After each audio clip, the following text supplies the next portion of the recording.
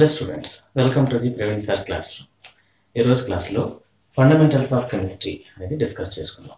Fundamentals అనేవి చాలా important ఎందుకనంటే కనుక ఒక బిల్డింగ్ని కట్టడానికి ఫౌండేషన్ ఎంత అవసరమో ఫండమెంటల్స్ కూడా ఒక సబ్జెక్ట్ నేర్చుకోవడానికి అంతే అవసరం.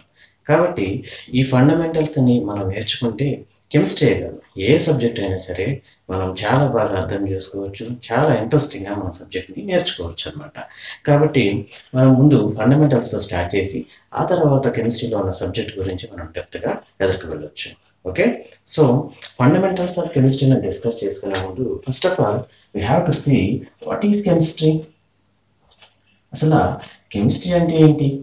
చాలా మందికి ఈ డెఫినేషన్ గురించి కూడా తెలియకపోవచ్చు. సో కెమిస్ట్రీ అంటే సింపుల్గా మనం చెప్పాలి అని అంటే కనుక study of matter study of matter అంటే ఏంటి? కెమిస్ట్రీ అంటే మ్యాటర్ని స్టడీ చేయడం. మ్యాటర్ని స్టడీ చేయడం అంటే మరి మ్యాటర్ అంటే ఏంటి? మళ్ళీ అదే మనకు ఒక క్వశ్చన్ సో మ్యాటర్ అంటే ఏంటంటే ఏదైనా ఒక సబ్స్టెన్స్ అన్నమాట. ఎనీ సబ్స్టెన్స్ ఏదైనా ఒక substance any substance which occupies which occupies some space and mass కొంత స్పేస్ ఆక్యుపై చేసి కొంత మాస్ని కలిగి ఉండే ఏ సబ్స్టెన్స్ అయినా ఏ పదార్థాన్ని అయినా సరే మనం ఏమనొచ్చు అని అంటే కనుక మ్యాటర్ అని అనొచ్చు అనమాట అలాంటి మ్యాటర్ని స్టడీ చేయడాన్ని అలాంటి మ్యాటర్ని స్టడీ చేయడాన్ని మనం ఏమంటాము? కెమిస్ట్రీ అంటాం సింపుల్గా చెప్పాలంటే. అంటే ఏంటి? మ్యాటర్ అనేది ఇంకొక మ్యాటర్ కానీ వేరొక సబ్స్టెన్స్తో కానీ అది ఇంటరాక్ట్ అయినప్పుడు కొత్త న్యూ ఫామ్ కాంపౌండ్స్ అనే వాటిని ఫామ్ చేస్తూ ఉంటుంది. కొత్త పదార్థాలను ఏర్పరుస్తూ ఉంటుంది. అలా ఏర్పడడం ద్వారానే మనం ఇప్పుడు ఏదైతే గమనిస్తున్నామో మనం చూసే ప్రతి పదార్థము కూడా ప్రతి సబ్స్టెన్స్ కూడా ఇలాంటి ఇంటరాక్షన్స్ జరగడం వల్లనే ఏర్పడ్డాయి. కాబట్టి మ్యాటర్ మ్యాటర్ అంటే ప్రతిదీ మ్యాటరే ఇక్కడ చూడండి ఇక్కడ మార్కర్ను గమనిస్తున్నాం. ఈ మార్కర్ను చూస్తే కనుక దీనికి కొంత మాస్ అనేది ఉంది. సో ఇది ఏం చేస్తుంది? కొంత స్పేస్ని ఈ ఇక్కడ గ్యాప్లో ఇది ఆక్యుపై చేసింది. కొంత స్పేస్ని ఆక్యుపై చేసింది కొంత మాస్ ఉంది. ఇది మ్యాటర్ అవుతుందా? ఎస్ మ్యాటర్ అవుతుంది. అలానే మనం డస్టర్ని తీసుకుందాం. డస్టరే కాదు ఏదైనా సరే కొంత స్పేస్ని ఆక్యుపై చేసి కొంత మాస్ని కలిగి ఉన్న ఏ సబ్స్టెన్స్ అయినా కూడా ఏమవుతుంది అని అంటే కనుక మ్యాటర్ అవుతుంది. So pen pencil book car whatever ప్రతిదీ కూడా మ్యాటరే. సో ఈ మ్యాటర్ని గురించి స్టడీ చేయడాన్ని ఈ మ్యాటర్ యొక్క ఇంటరాక్షన్స్ ఈ మ్యాటర్ ఫామ్ చేసే కొత్త ప్రొడక్ట్స్ సో వాటి గురించి మనం స్టడీ చేయడాన్ని ఏమంటాము అంటే కెమిస్ట్రీ అని అంటాం అనమాట కెమిస్ట్రీ అని చెప్పి అంటాం. అయితే ఈ మ్యాటర్ని కనుక మనం క్లాసిఫై చేస్తే ఈ మ్యాటర్ని కనుక మనం క్లాసిఫై చేస్తే based on the physical state. అంటే ఏంటి? ఫిజికల్ స్టేట్ ఆధారంగా లేదా ఫేజ్ ఆధారంగా మనం మ్యాటర్ని కనుక క్లాసిఫై చేస్తే మెయిన్గా త్రీ టైప్స్గా మనం చెప్పొచ్చు అనమాట ఫస్ట్ ఇది ఏంటి అని అంటే సాలిడ్స్. ఇది ఈ స్టేట్స్ ఆఫ్ మ్యాటర్ లేదా టైప్స్ ఆఫ్ మ్యాటర్ అనేది బేస్డ్ ఆన్ ది స్టేట్స్ మనం ఈజీగా చెప్పొచ్చు solids liquids at the same time gases solids liquids gases so మనకు తెలుసు ఒక పదార్థం అనేది యూజువల్గా సాలిడ్ అని అంటే మనం ఈజీగానే కనిపెడతాం ఎలా కనిపెడతాం చూడడానికి మనం టచ్ చేసినప్పుడు హార్డ్గా ఉండే మెటీరియల్ యూజువల్గా సాలిడ్స్ అనేవి అవుతాయి. సో ఈ సాలిడ్స్ అనేది డెఫినెట్ వాల్యూమ్ అనేది ఉంటుంది. Definite volume. అలాగే డెఫినెట్ షేప్ అనేది ఉంటుంది. Definite shape definite volume definite shape అనేది ఉండదాన్ని మనం సాలిడ్స్ అంటాము. ఈ సాలిడ్స్లో యాటమ్స్ అనేవి యాటమ్స్ అనేవి ఒక క్లోజ్గా ప్యాక్ అయి ఉంటాయి అనమాట atoms are packed together closely by attracting forces strong attracting forces అంటే ఏంటి? యాటమ్స్ అనేవి ఇక్కడ క్లోజ్గా ప్యాక్ చేయబడి ఉంటాయి. దేని దేని ద్వారా ప్యాక్ చేయబడి ఉంటాయి అంటే కనుక అట్రాక్టివ్ ఫోర్సెస్ అట్రాక్టివ్ ఫోర్సెస్ అంటే ఏంటి? యాటమ్కి యాటమ్కి మధ్యలో యాటమ్కి యాటమ్కి మధ్యలో ఆ అట్రాక్షన్ అనేది స్ట్రాంగ్గా ఉండటం వలన అణువులు మధ్య గ్యాప్ అనేది చాలా తక్కువ ఉంటుంది. చాలా టైట్గా హెల్డ్ అయి ఉంటాయి. క్లోజ్గా ప్యాక్ అయి ఉంటాయి అన్నమాట. సో అలాంటి వాటిని మనం ఏమంటాము అంటే సాలిడ్స్ అని చెప్పి అంటాం అనమాట మరి లిక్విడ్స్ అంటే ఏంటి? లిక్విడ్స్ అంటే డెఫినెట్ వాల్యూమ్ అయితే ఉంటుంది. డెఫినెట్ వాల్యూమ్ అయితే ఉంటుంది. కానీ డెఫినెట్ షేప్ అయితే ఉండదు. That means indefinite shape indefinite shape అంటే ఒక పర్టికులర్గా ఒక వాల్యూమ్ ఎంత ఆక్యుపై చేస్తుందని మనం చెప్పొచ్చు కానీ దాని షేప్ని మనం చెప్పలేం. Which is based on container for example మనం లిక్విడ్ కింద ఏ వాటర్నో తీసుకున్నాం అనుకోండి ఆ వాటర్ అనేది మనం ఏ షేప్లో అయితే అంటే ఏ బౌల్లో వేస్తే దాని షేప్లోకి మారిపోతుంది. అంతే తప్ప ఒక ఫిక్స్డ్ షేప్ని మనం వాటర్కి చెప్పలేం అంటే ఏంటి? లిక్విడ్స్ అనేవి ఒక ఫిక్స్డ్ షేప్ని కలిగి ఉండవు. అవి ఏ కంటైనర్లో ఏ బౌల్లోకి మనం మారుస్తామో దానికి తగ్గట్టుగా ఆ ఆకారంలోకి మారిపోతూ ఉంటాయి. కాబట్టి వీటికి డెఫినెట్ షేప్ అనేది ఉండదు. ఇండెఫినెట్ షేప్ అనేది చెప్తాం. అందుకని ఇండెఫినెట్ షేప్ అని చెప్పి మాట్లాడతాం అనమాట అంటే ఏంటి? యాటమ్స్ అనేవి ఈ లిక్విడ్స్లో యాటమ్స్ అనేవి ప్యాక్ చేయబడి ఉంటాయి. కానీ ఆ వాటి మధ్య అట్రాక్టివ్ ఫోర్సెస్ అనేవి వీక్గా ఉంటాయి అనమాట weak attractive forces weak attractive forces అంటే స్ట్రాంగ్ అట్రాక్షన్స్ అనేవి ఉండవు. సో స్ట్రాంగ్ అట్రాక్షన్స్ ఎక్కడ ఉంటాయి మనకి అని అంటే కనుక సాలిడ్స్లో ఉంటాయి. మరి లిక్విడ్స్లో ఏముంటాయి అంటే కనుక లిక్విడ్స్లో వీక్ అట్రాక్టివ్ ఫోర్సెస్ అనేవి ఉంటాయి. అందువల్ల అవి మూవ్ అవ్వగలుగుతాయి అన్నమాట. అందువల్ల లిక్విడ్స్ అనేవి మనం యూజువల్గా ఒలికించినప్పుడు ఏమవుతాయి? అవి మూవ్ అవుతూ ఉంటాయి అన్నమాట. సో వీటిని మనం లిక్విడ్స్ అని చెప్పి అంటాము. అలాగే గ్యాసెస్. సో గ్యాసెస్ అంటే ఇంక మనం డెఫినెట్గా చెప్పొచ్చు ఏంటి? There is no shape so no volume ఒక ఫిక్స్డ్ వాల్యూమ్ ఉండదు. అలాగే ఫిక్స్డ్ షేప్ ఉండదు. No shape no volume. వాటినే మనం గ్యాస్ అంటాం. అంటే దీన్ని బట్టి మనం ఏం చెప్పొచ్చు అని అంటే యాటమ్స్ అనేవి చాలా ఫ్రీగా ఉంటాయి. ఫ్రీ ఫామ్లో మూవ్ అవుతూ ఉంటాయి. సో ఫ్రీగా మూవ్ అవుతూ ఉంటాయి యాటమ్స్ అనేవి. వాటి మధ్య ఆల్మోస్ట్ ఇక అట్రాక్షన్ అనేది ఉండదు. ఆల్మోస్ట్ ఇక అట్రాక్షన్ అనేది ఉండదు. There is no attraction between atoms in the gas state so atoms మధ్య um, ఆ అట్రాక్షన్ అనేది మనం గ్యాస్ స్టేట్లో ఉన్నప్పుడు గమనించలేము. కాబట్టి మ్యాటర్ని కనుక గనక మనం స్టేట్ ఫిజికల్ స్టేట్ ఆధారంగా ఫిజికల్ స్టేట్ ఫిజికల్ స్టేట్ ఆధారంగా మనం క్లాసిఫై చేసినట్లయితే సాలిడ్స్ లిక్విడ్స్ గ్యాసెస్ సో ఇలా మూడు రకాలుగా మనం క్లాసిఫై చేయొచ్చు.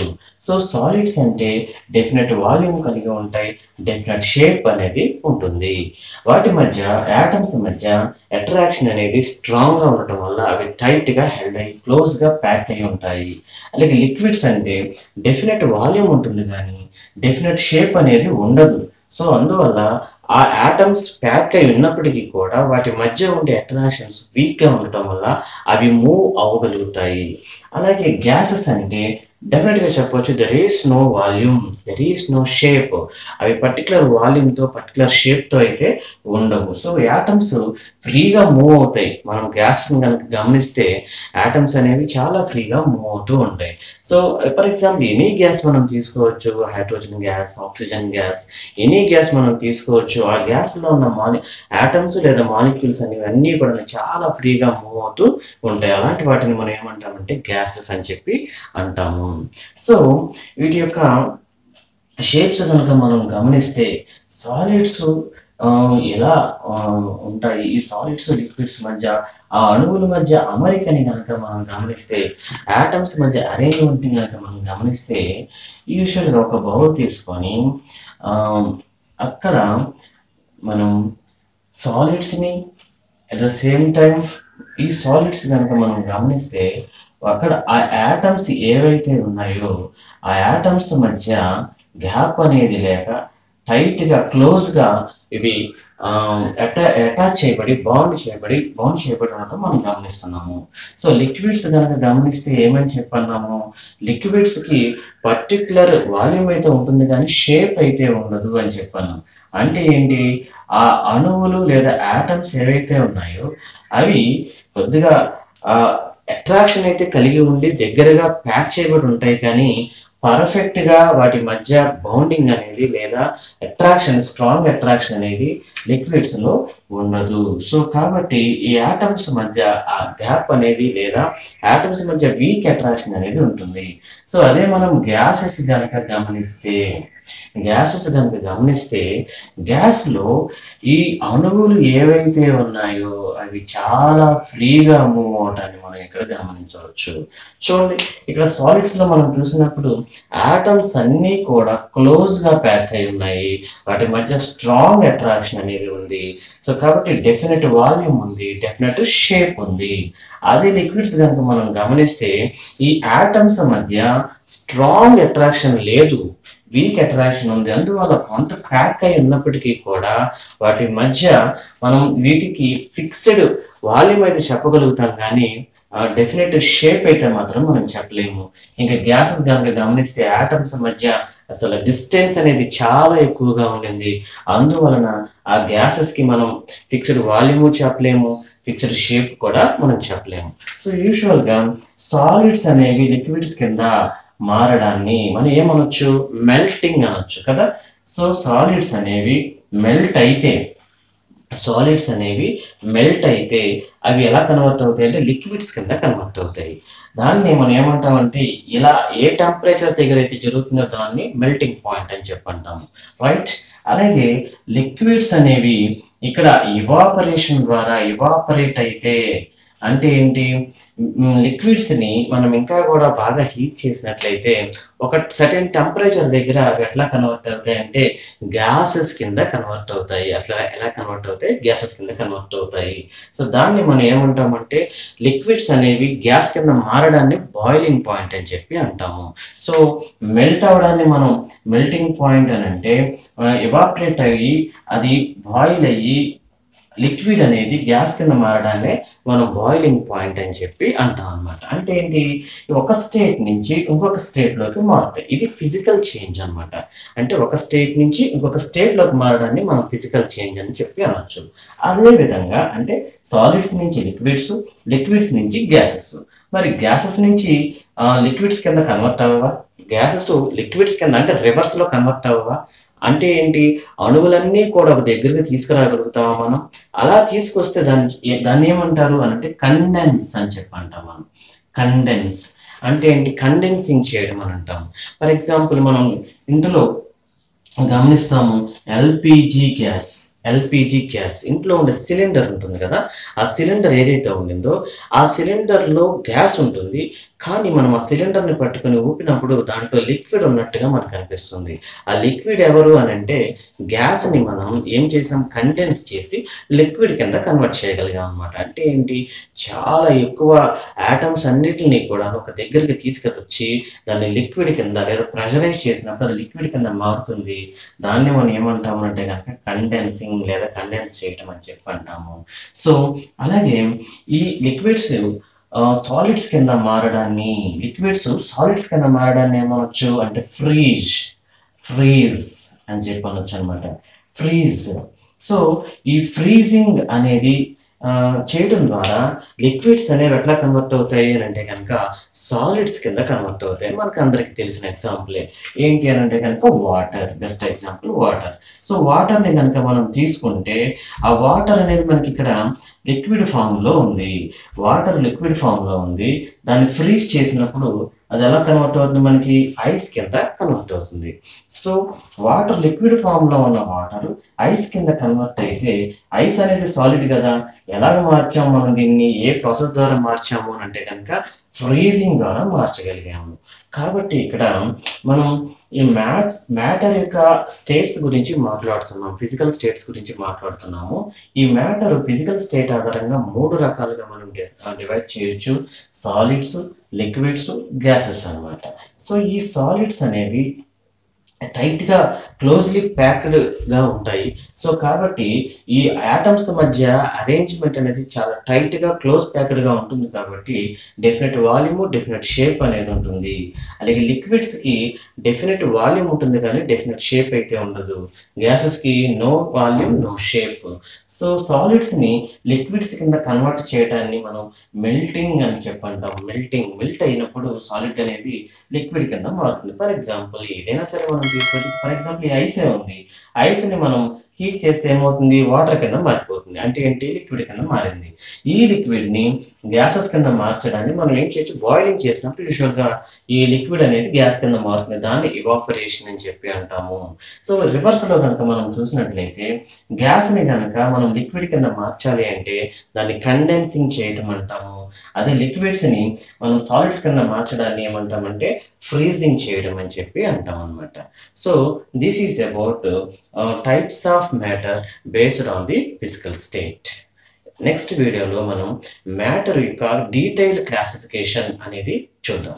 థ్యాంక్ యూ మీకు ఈ వీడియో నచ్చినట్లయితే లైక్ చేసి షేర్ చేసి అలాగే సబ్స్క్రైబ్ చేయండి. Thank you so much